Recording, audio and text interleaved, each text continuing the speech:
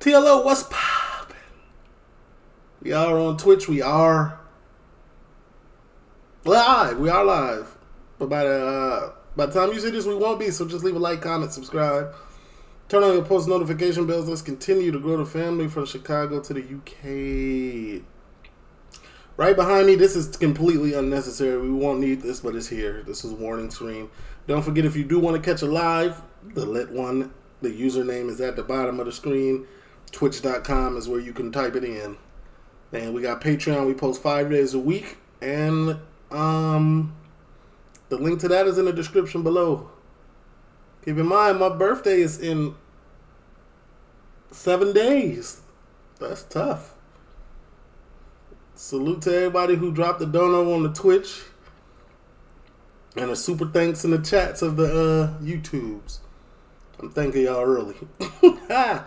uh, this is why British cities keep going bankrupt. This is Tom Nicholas.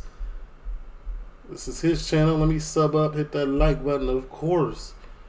Mm, let's get into it, man. Copyright disclaimer under Section 107 of the Copyright Act 1976. Allowance is made for fair use for purposes such as criticism, comment, news reporting, teaching, scholarship, and research. Fair use is a use permitted by copyright statute that might otherwise be infringing. Nonprofit, educational or personal use tips the balance in favor of fair use. No copyright infringement intended. All rights belong to their respective owners. My bad. My birthday's in eight days. My fault. Eight days. Eight days from now. Today is the twenty. Today's the eighteenth. So there's the math for you. This city just declared bankruptcy. What And city? unless something changes in the UK pretty soon, it's unlikely to be the last. What city I'm you in in? The UK soon, it's unlikely to be the last. I'm in Birmingham, the UK's second most populous city. Birmingham? Just declared bankruptcy? Home of the Peaky Blinders, Black Sabbath, Cadbury Chocolate, Aston Villa Football Club, and a genuinely interesting pen museum, Birmingham has long been a trend setting town. But at the end of last summer, it became a pioneer in a slightly less desirable sense, when the city's council announced that it had gone bust. A British city declaring itself bankrupt like this is usually an exceptionally rare event.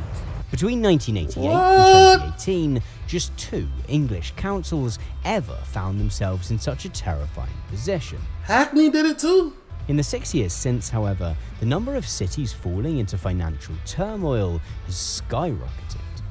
Northamptonshire, Croydon, not surprised. Nottingham, not surprised. Never heard of the rest of them except Birmingham. I'm really surprised at Birmingham. I did not know this. Six local councils have declared themselves effectively bankrupt since 2021, and it seems unlikely that they'll be the last. A recent survey by the Local Government Association found that nearly one in five council chiefs in England feared their council could similarly run out of cash in the next two years. I've blocked four days out my schedule, booked three travel lodges, and committed to driving an inadvisable distance in order to visit four British cities or counties which have recently gone bust, and to try and figure out exactly what's going wrong here. As well as visiting one city which is experimenting with a whole new model of governance, which can hopefully help cities to avoid a similar fate in the future. Oh, he must be talking about the uh where everybody gets their own mayor instead of a big umbrella. He must be talking about that. I just learned about that. You know what I'm saying? I'm up on my UK politic things in that nature. You know what I'm saying? Because I, I honestly might move there. I'm, I'm telling you. Uh, When y'all see me out there making videos, y'all gonna be like, "Bro, you live here?" Yeah, don't worry about that though.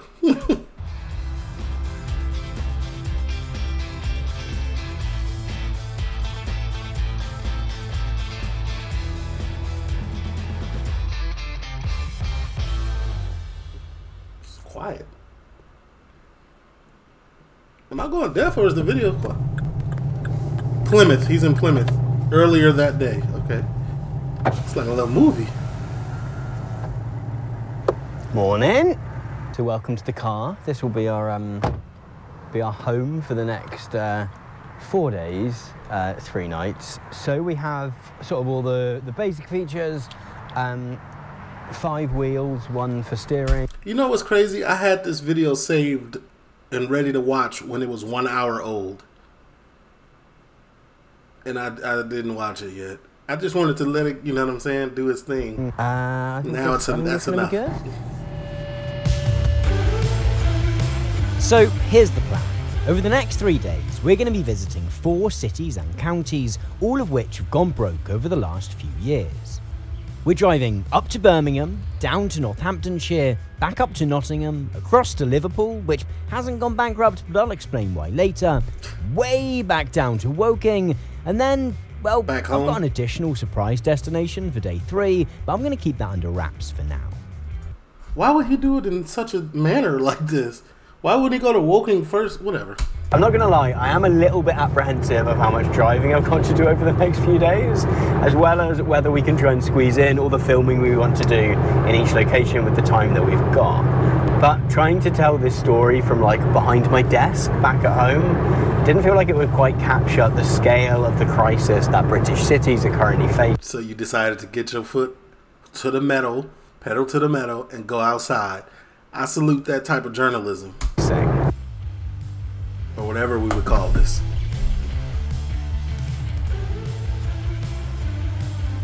Okay, the sun is up. We've had some breakfast. We are on the M5 and have avoided accidentally getting the bridge to South Wales. And next stop is Birmingham. How long of a drive is that? It looked long on that map.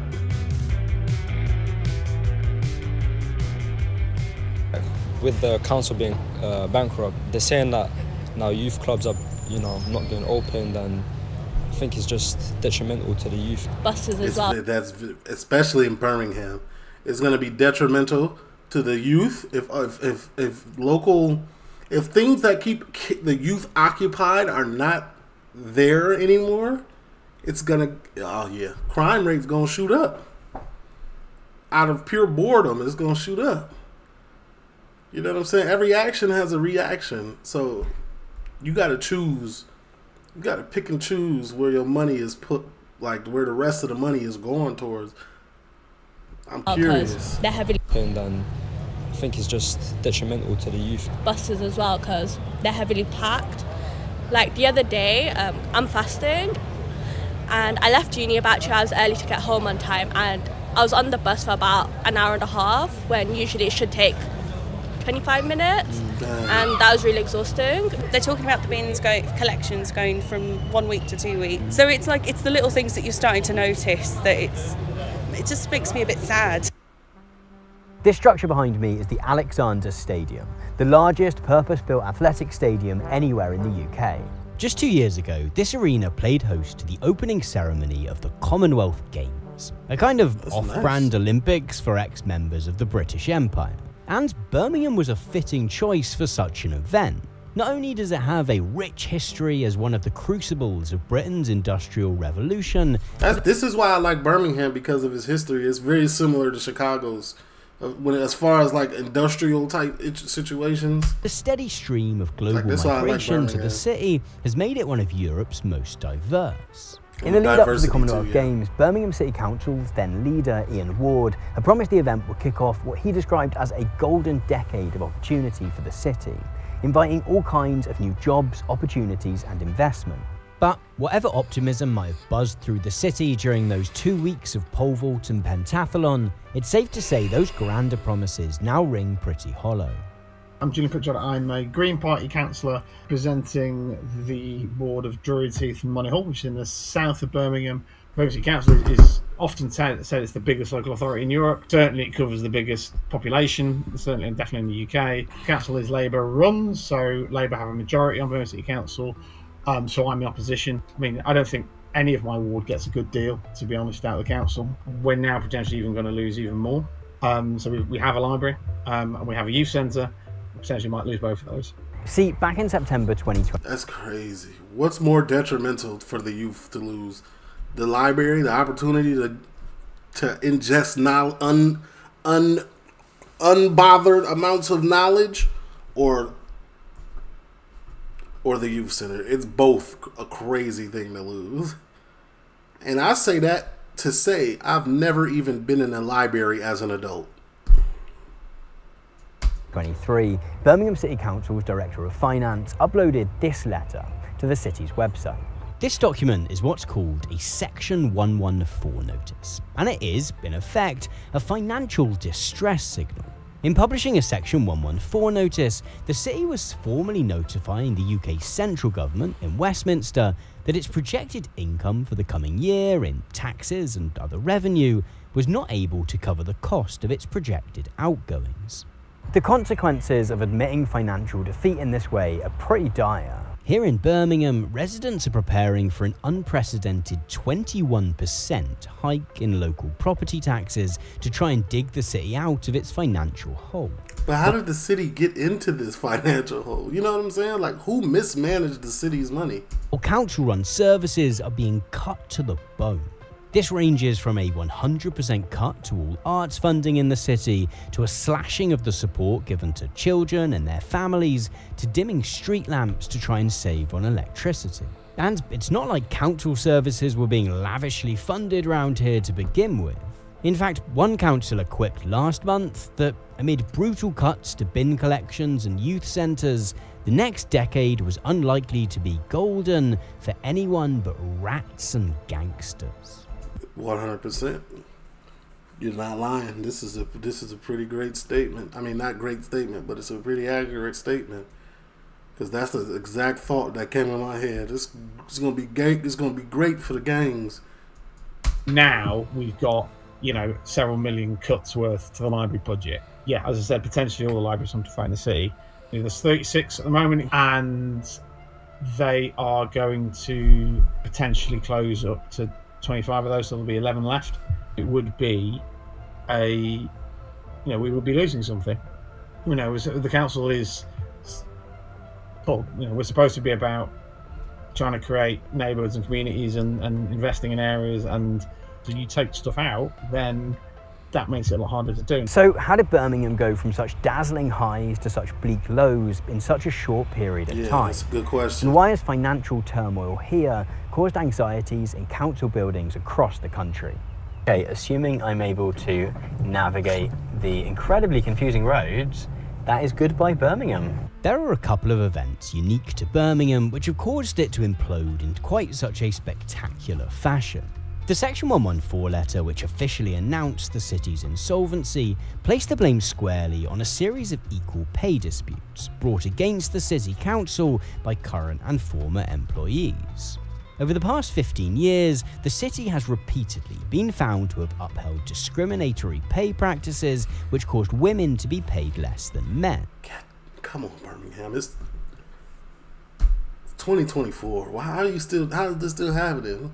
And having already paid out over £1 billion in settlements, it was suggested that the outstanding £760 million the city is still estimated to owe was the key reason for the council going bust. This narrative has since come under question. In March, accountant and academic James Brackley To put that in perspective, that unequal pay, discriminatory pay uh, discrepancies were the reason that Birmingham went into bankruptcy. wrote a piece for The Conversation based on an extensive review he'd undertaken of Birmingham City Council's finances. Brackley found that the real reason for Birmingham's immediate financial turmoil was the fumbled implementation of a new accounting and HR system by the American company Oracle. Not only did migrating to the new Hold on. Why, why does it come back to America? What we got to. Oh my days. I remember Oracle though. They handled some of when I last worked, they handled some of our stuff too. new Oracle software system ended up costing more than three times what was initially quoted, but the software itself was highly dysfunctional.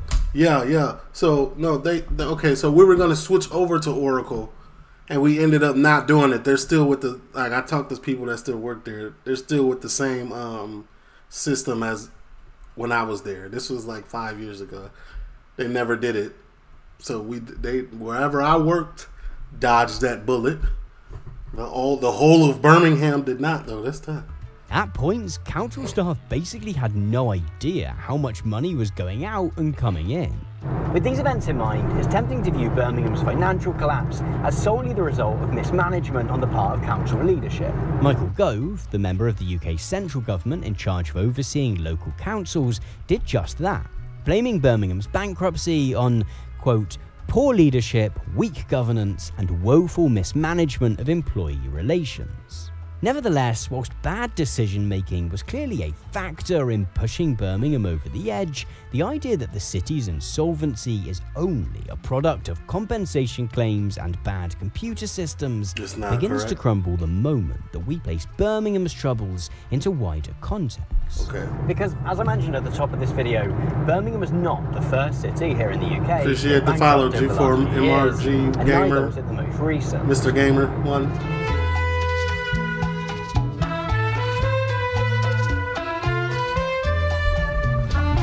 Northamptonshire. We already going here?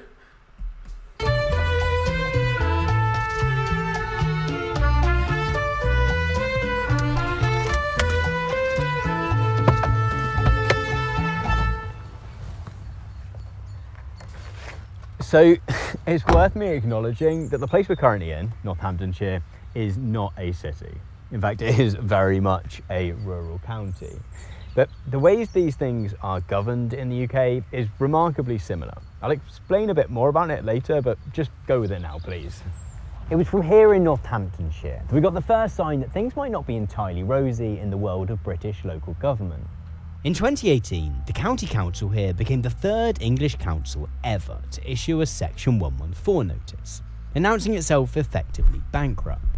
The fact that 18 years had passed since Hackney had been the most recent place to do so meant that it was easy to view this as a pretty exceptional event.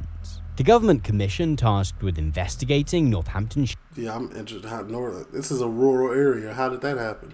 Council's failure cracked out all their Microsoft Office skills to blame its insolvency on hubris on the part of local politicians and council staff. Since then, however, the catastrophes have kept piling up. Croydon, Slough, Thurrock, Woking, Birmingham, and most recently Nottingham have all announced they've run out of cash in the past two years. And even in cities which remain in the black for now, leaders are warning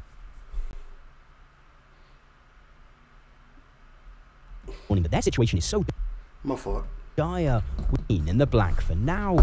Leaders are warning that their situation is so dire we might soon be facing, quote, the end of local government in the UK. While there might be unique circumstances involved in all of these cases, then there's clearly something much larger going on here. But to understand that, we first need to take a little look at how local government here in the UK works. But that's a job for tomorrow because I am absolutely knackered. Oh. Wait, couldn't couldn't this be a, like a aftermath of exiting the EU as well? You know what I'm saying? Or no? This is Nottingham. The next day. We always vote, yeah. yeah. Yeah. Women, women died to get. See, y'all. See, this is the difference between me and other reactors. First of all, other reactors are not watching this. That's first and foremost. And and be cut like listen, hear me out, hear me out. They don't retain information like I do. Y'all be thinking I don't be paying attention, but look right now as I recite everything that I've ever learned about politics in the UK and what's going on on the day to day basis. See, I don't just one ear out the other. My reactions. I listen, I retain, I, I gather information, and it's stored. And when I be trying to tell y'all I'm a genius, I'm a genius in my own right. You get me? That is the vote. We always vote. Yeah, I I think I think the vote's very important. Yeah. Uh, people are given a lot of time and effort and some of their lives, I suppose, over the years to guarantee what we can do today. I've never voted. No? No. In, in They all think of themselves. Hold on, wait. We got run out of cash.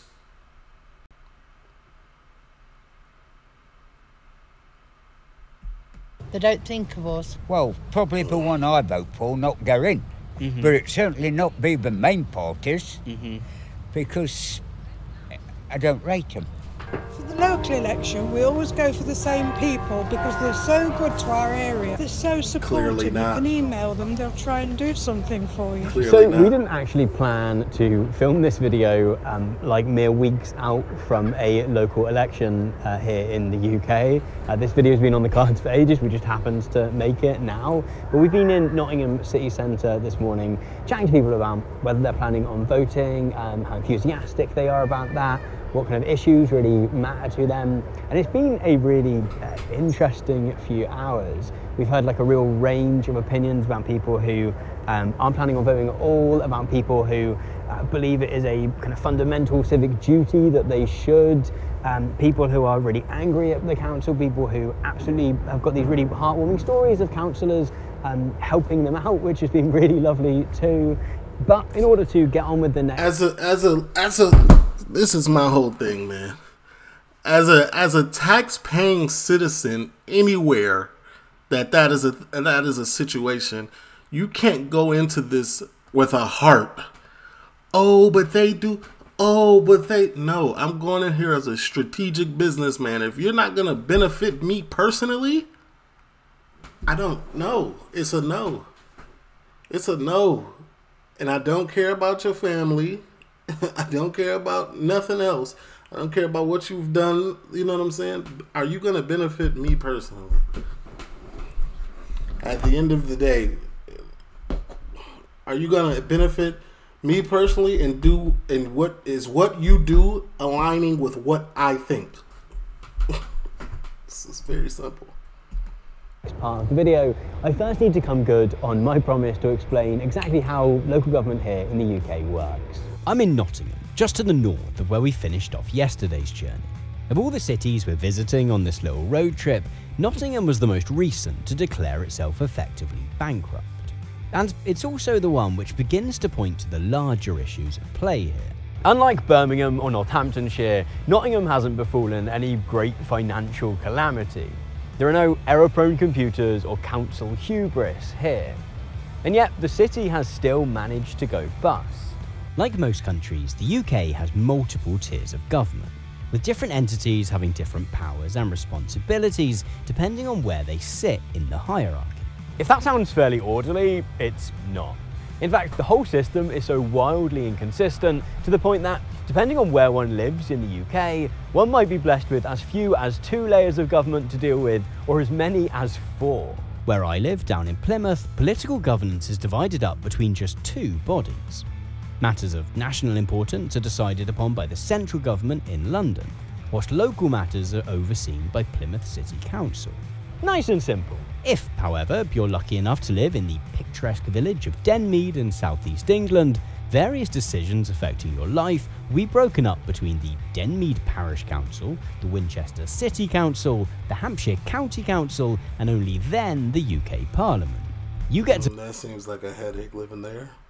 To vote for representatives. Trying to get anything done of all of those bodies, and if you have any issues, you have the additional fun of trying to work out which of those four representatives has the power to do anything about it.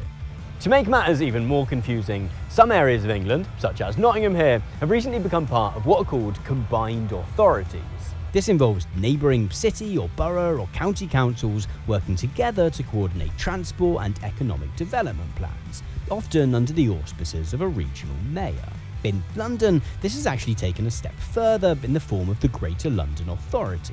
Led by the London Mayor, the GLA has strategic responsibility for life across London's 32 boroughs, despite each of those boroughs having considerable day to day autonomy in their own right. Meanwhile, Wales, Scotland, and Northern Ireland have their own national parliaments, which in those countries form a separate layer of government between local government and central government in London, and this is before we even begin to talk about the nine administrative English regions, which are used for some statistical purposes or local. Oh my god! I used to think when I was in high school that we had we had it bad when it came to figuring out who could do what and and what how politics works. The house of this, the house of that. This this is a headache. I would never pass this class. Whatever class this is located in, in school out there, I wouldn't pass it. Police and crime commissioners. All that being said, most people in the UK will have either one or two local councils which serve as their primary forms of local government.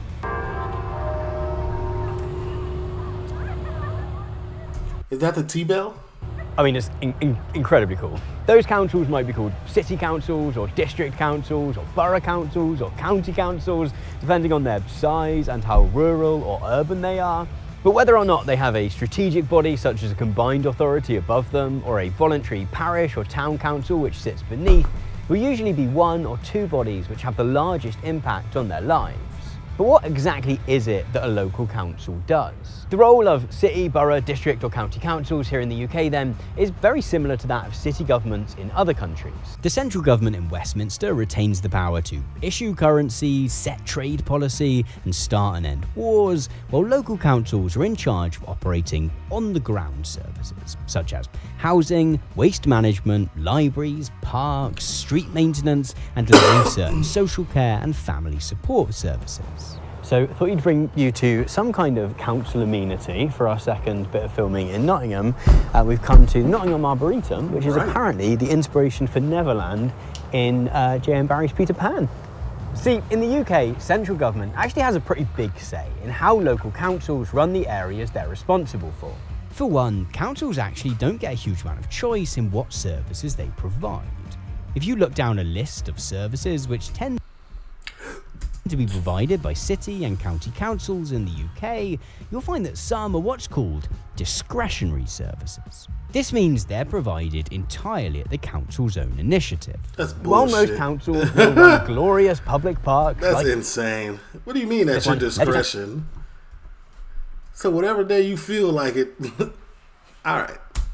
While most councils will run glorious public parks like this one, leisure centres and museums to uplift local histories, there's nothing to say that they have to, other than the fear that local residents might vote them out if they don't.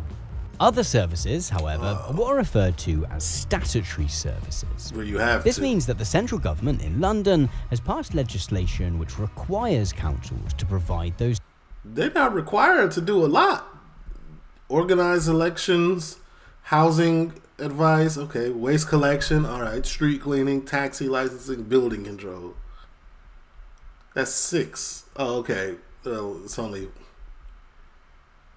so seven that they don't have to do. Car parking, funding for voluntary art organized, public park maintenance, public toilets, leisure centers, local museums. Mm. So everything fun is an option.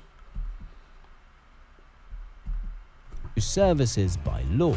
Local authorities, for example, are legally required to provide free bin collections. They have a legal responsibility to maintain roads and pavements, and they have a duty to provide welfare and safeguarding services for children and vulnerable adults.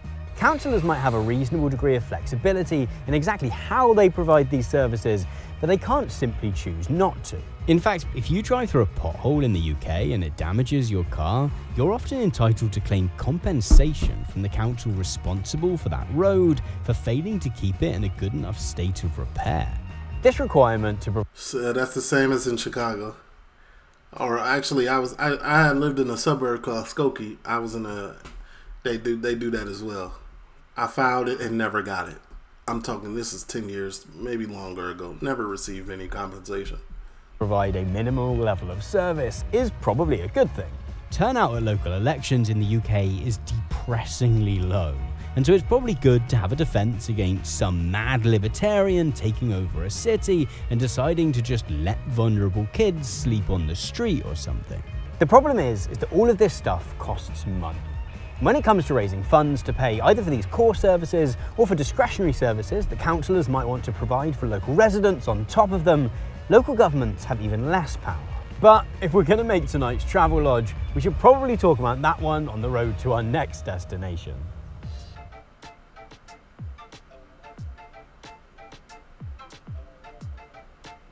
This next stop is actually a bit of a detour, but I think it's really important to visit if we're going to tell this whole story properly. I mean, I don't know if I've explained how much I dislike driving yet, but yeah, I definitely Liverpool wouldn't be you're adding going to, right? stop if I didn't feel it was important. So there are four ways in which city, borough and county councils in the UK generate money.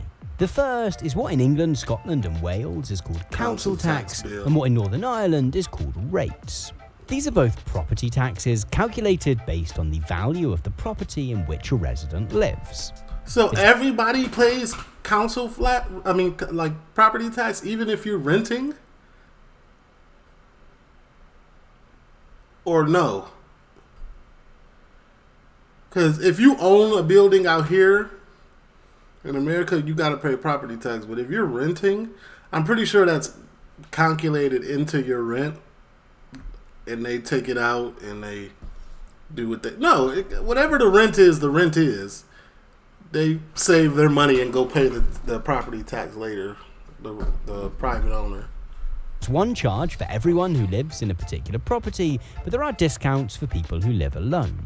Depending on where you live in the country and how fancy your house is, council tax might be as low as £763 a year for a cupboard in the City of London, or over £5,000 for a mansion in Rutland. I think a lot of people understandably assume that council In Chicago, you could pretty much guarantee that it was a, a one rate. it's like 10 bands. I don't know, something like that. tax covers a sizable portion of the cost of running a local government. But this is actually far from the case. If we take the example of Staffordshire County Council, whose jurisdiction we're currently driving through, we find that council tax accounted for just 37% of the body's income in the year 2023 to 2024. A further 10% came from business rates, Business which is another property tax, which is similar to council tax, but which is charged businesses. to businesses with premises within a council's jurisdiction. Offices, shops, factories, warehouses, bars, and cafes can all be liable to pay business rates, which are calculated based on the rental value of a given unit. As with council tax, however, there are again discounts for smaller businesses and for charities.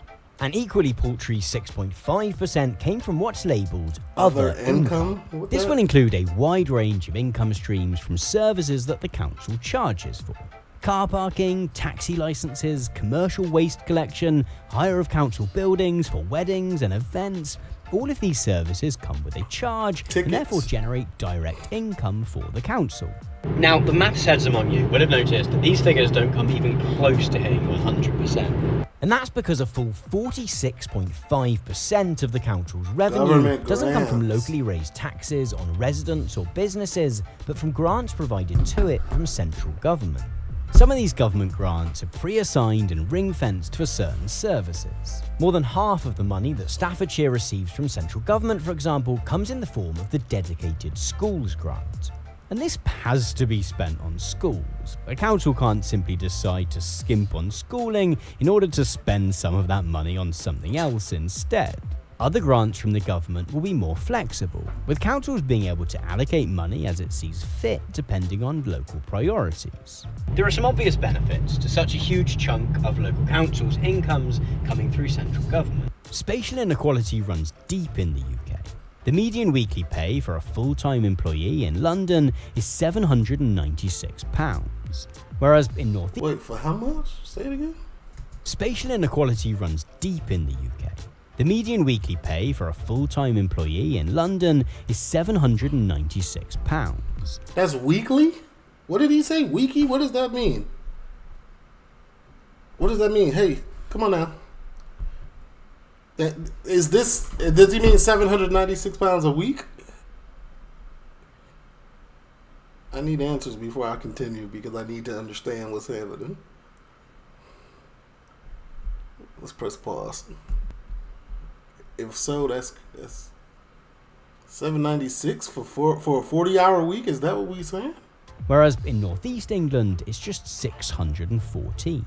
Capturing tax centrally through income tax and the like, and then distributing it outward to local councils, at least theoretically gives central government the power to soften the effects of this imbalance. That's not to say they act on that power as much as they should, but they at least could if they wanted. Nevertheless, the combination of such a large chunk of local councils' funding coming from central government, alongside the fact that that same central government also gets to tell councils what services they should prioritise through that system of statutory services, begins to place a big question mark over how autonomous local councils really are. All of which would make politicians in London seeking to place the blame for British cities going bankrupt entirely on city governments seem a bit questionable. Because rather than an unfortunate accident, this enfeeblement of local councils by the central government is very much by design. And our next stop will be able to show us why. Going to the pool. I'm in Liverpool, where it is incredibly, incredibly windy. Liverpool has long maintained a slightly distinct political identity to much of the rest of England. Never was this clearer than in the 1980s. Throughout the course of that decade, the UK as a whole thrice elected Margaret Thatcher on a platform of cutting taxes and reducing public expenditure. Many in Liverpool, however, remained deeply sceptical. In fact, in 1983, Yeah, the city went in the complete opposite direction to the rest of the country by voting in a city council led by Militant, a left wing faction within the Labour Party which couldn't have been more opposed to Thatcher if they tried. Where Thatcher sought to open up every aspect of national life to the free market, Militant sought to overthrow it entirely. This animosity came to a head a year later, when Thatcher's government introduced legislation which placed a limit on the amount of tax local councils could raise from their residents. This served the Conservatives' agenda in two ways. Not only did it reduce people's taxes, but by limiting the amount of money councils had available to spend, it forced councils to streamline services and thus further reduce the role of the state in people's everyday lives. Militant led Liverpool had other ideas. Rather than reducing their spending, the City Council unveiled an ambitious programme of activity in which they pledged to build new houses, open new sports centres, and provide a greater number of nursery places for local children. How did that work out? Crucially, the cost of all this required the council to set a budget in which their expenditure exceeded the income they were due to receive through government grants or through newly capped taxes.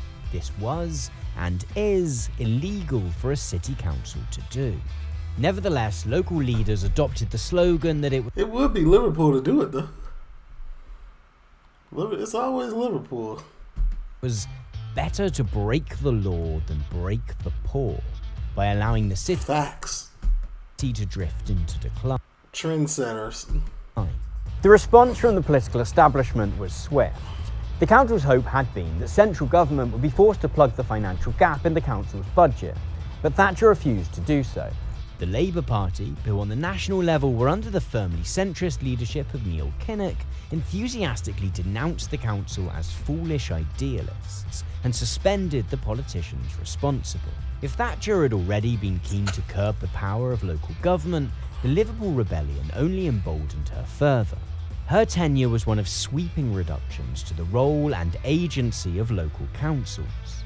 Alongside caps on local taxes, Thatcher also reduced councils' powers over schools and forced them to sell off huge quantities of social housing. This war on local government was partly an economic crusade. But as the standoff with militant Liverpool highlights, there were political motivations at play too. She was not with the. uh She basically said, if you broke, deal with it. Fix it yourself. No more funding. No In more ideal world, breaks. the relationship between local government and national government would be one of mutual cooperation. But local politicians ever since have tended to view local councils as inherent obstacles to change. After all, it's no fun sweeping to power with some great vision for how you're going to change the country, only to have that vision frustrated by a bunch of disagreeable councillors in Liverpool or Surrey or anywhere else. When the Conservatives were ousted in the late 1990s, it's telling that the incoming Labour government under Tony Blair didn't proceed to roll back Thatcher's reforms. While they did increase local government funding, this came with strings attached in the form of targets and so called performance indicators, which councils had to meet to appease Westminster. The lesson learned from Thatcher's tenure was clear that local government needed to be constrained and controlled. But more on that when we reach our final destination tomorrow morning. Northwest England. So, tra- tra- travel lodge. Dang, there's a lot of foliage going on. Okay, this is our Travelodge for night two. Um, the third one is actually for the, the, the, the end of the third day. Um, and I thought I'd let you into this one because this one comes with its very own podcasting studio. uh, where you can, like, I re- really This is weird. Why is there not a couch in here? could have done interviews in here. Like, so what's your thoughts on um, uh, local councils struggling for cash? Oh well, um, I think I think this and that and that, and actually I think it's uh, like this. It's uh, like I really think um, Travelodge could rebuild itself as a kind of studio of some description. Okay, it's actually not raining, You could very easily do a podcast right there. He's on to something. which is some. Oh no, it is. Okay, every time I put my head up, it starts. Yeah, heal me. It stops raining, and every time I take it down again.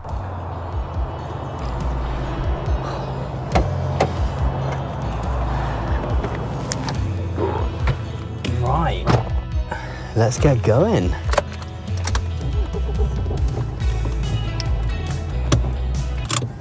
Oh, the parcel shelf's got stuck. So, with my ability to see out my rearview mirror restored, we headed back down across the breadth of England to our final destination, Woking.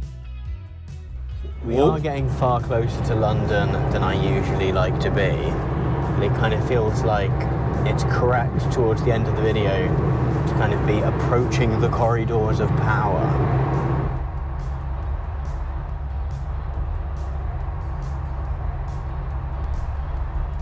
Of course they did. Why would they? Why would they accept that? Anything that could potentially paint them in a bad light, it's not happening.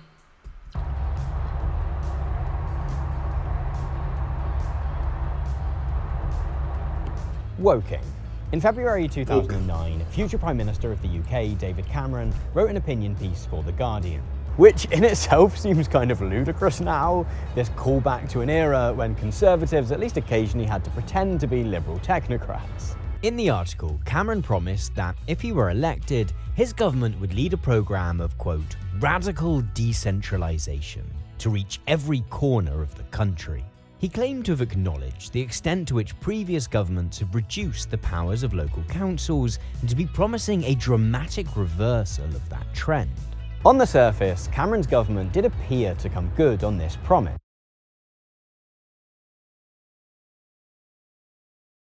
Reduce the powers of local councils and to be promising a dramatic reversal of that trend. On the surface, Cameron's government did appear to come good on this promise. And I was muted, wasn't I? I said this is probably one of the most cringiest handshakes I ever seen. just one I got I gotta get it off. You know what I'm saying? local councils to be promising Who shakes with a left hand? Who leads with the left? Isn't shaking left-handedly disrespectful? Like that's what it's looked at it. a dramatic reversal of that trend. cringe.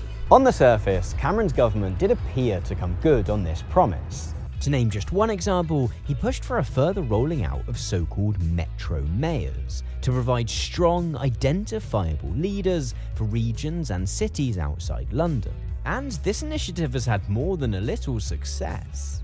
In Manchester, Labour Mayor Andy Burnham has been able to bring local buses back under city control, to improve support for people sleeping rough, and to develop plans to introduce a new city accredited education pathway for local young people who want to enter technical careers. While mayors, devolution deals, and other less shiny reforms Devolution, might see? theoretically increase the autonomy of local government, however, the matter of money remains. And in this, the succession of Conservative prime ministers, which have held power since 2010, have been far less generous. In fact, according to the Institute for Government, core funding for local councils was cut by 40% between 2009 and 2020. Whatever powers local councils might theoretically have gained then, they've been left with little cash to actually do much with these new abilities. The whole system of Mm, so it's trickery. So they still a puppet. Hey, we gotta give you the money, but you ain't got none. You, you ain't getting none. So you can take these new powers, but what you gonna do? What you gonna fund it with? Statutory and discretionary services has begun to look ridiculous, as councillors have been forced to cut anything which isn't legally mandated to the bone. Budgets for park maintenance, for example, have been slashed by a third. Funding for local arts organisations has dropped by 40%. 60% of public loos across the country have been closed, and nearly 400 swimming pools in England have been shut down. Even where councils do legally have to provide a service, they've often had to reduce that provision to the bare minimum. Providing a library service might be a legal requirement, but the law is pretty vague about what that service needs to look like. As such, hundreds upon hundreds of libraries have been closed over the past decade, and others have been reduced to minimal opening times. 800? Similarly, council youth centres, which used to cater to a wide range of young people, now have to focus their efforts on children who are already in need of intervention. Things were really brought to a head, however, by COVID. Where council budgets were already stretched, the pandemic introduced all kinds of new responsibilities, which sent their outgoings soaring at the same time as income through taxes and revenue generating services like car parks took a nosedive.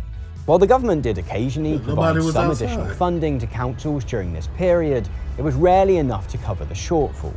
And after 10 years of austerity, there simply isn't much left to cut. In January, the BBC reported that UK councils were shouldering a collective debt of £97.8 billion. At time of recording, however, central government has refused to provide any additional financial support. Chancellor of the Exchequer Jeremy Hunt has instead suggested that councils should cut back on diversity and inclusion schemes. Which, given Birmingham's bankruptcy was at least partly the result of the council there upholding widespread pay discrimination, is maybe a little inadvisable. Elsewhere, ministers have allowed councils to sell off assets such as land, community centres, leisure centres, and town halls to try and cover the shortfall in their day to day spending. Which really exposes the heart of what's going on here. For the past decade, Conservative politicians have talked endlessly about the decentralisation of power. First, it was localism, then devolution deals, then levelling up. By ruthlessly starving councils of cash, however, Cameron, May, Johnson, Truss, and Sunak have essentially forced councils of all political stripes to follow a ruthless agenda of cost cutting, privatisations, and sell offs. And the more local assets that are sold off, the more services that are transferred into private hands, the worse things are likely to get. But despite how grim things are, and they are pretty grim, I didn't want to leave this video on an entirely depressing note. Honestly, that seems like like on on some fend for yourself. We're gonna starve you out type situation. And then since y'all want all this power for local, local, all right, cool, cool, cool. Reap what you sow. Just remember, stand on it. Then that's basically what they said. Stand on that. So we're going to round off our trip with something of a bonus While we level. we By going stand on it while we take your feet from under you. which is trying to do things a little bit differently. In a way which doesn't completely ameliorate the effects of economic downturns or government funding cuts, but does at least seek to bring wealth and, most importantly, power back to local communities. Welcome to Preston. Preston is a relatively small city of around 150,000 people in northwest England. And I will admit we cheated a bit here. We're actually filming this on the morning of day three before we go to Woking. But it felt like a horrific waste of carbon to drive all the way down to Woking, only to drive all the way back up to Preston, and then to drive all the way back down to the glorious southwest to go home. But nevertheless, welcome to Preston. To understand what Preston's been doing differently over the past few years and why, it's helpful first to understand some of the knock on effects which the various privatisations and sell offs which the central government has been encouraging councils to perform have on a place. Imagine you run a council, and that council employs a big team of waste collection staff. Folks who get up early in the morning to drive big lorries around town and collect everyone's bins. If you directly employ that team, then a large chunk of the money that you pay them in wages will get spent locally in your town. On buying food and going to the cinema and doing escape rooms and whatever else it is that your fictional waste collection team are doing in their spare time. But now imagine that you privatise that service, by which I mean handing it over to a private company to run for profit. A few things happen. The first is that the company will likely look to quote unquote streamline the service being provided to cut costs, as the now privatised Royal Mail has been petitioning to do by abandoning Saturday post deliveries. The second is that they'll likely look to employ a new waste collection team on supposedly quote unquote more competitive terms, i.e., for less pay Cheaper. or at the very least less secure contracts. The third is that all that money that they save through this cost cutting becomes profit, which first gets deposited into the bank account of the company which now provides that service and then gets distributed to that company's shareholders. Particularly where contracts are handed to a big company like Biffa or Viridor, both of which are owned by American investment firms, what happens is that some of that money, which was previously being America controls your garbage. being paid to local employees who would then spend at least some of it in local shops and bars and bowling alleys, is now leaving the area entirely. Since 2013, however, the City Council here in Preston have been experimenting with a new approach to city governance, which has come to be known as the Preston model, or more broadly, as community wealth building. My name is Martin Rawlinson. I'm the Deputy Leader of the Council. I'm also in charge of the finances. It's a really tough landscape, local government right now, and has been for a number of years, and is not really getting any easier. Uh, the finances are very tight, 50% cuts. We, we've got half the staff that we used to have, half the money. We called it a fairness agenda at the beginning. It got labelled the Preston model by the former Shadow Chancellor John McDonnell some years ago, and that stuck. We looked at what we were spending uh, and whether we were spending it in Preston or nearby. And we also got all the local anchor institutions, which are public bodies, which are never going to leave Preston, you know, the hospital, the university, the police, the colleges, housing associations. We got them involved. We got them to look at where they were spending their money. And it turns out they weren't spending very much in Preston or, or nearby. So we, we developed a program whereby we encouraged uh, this.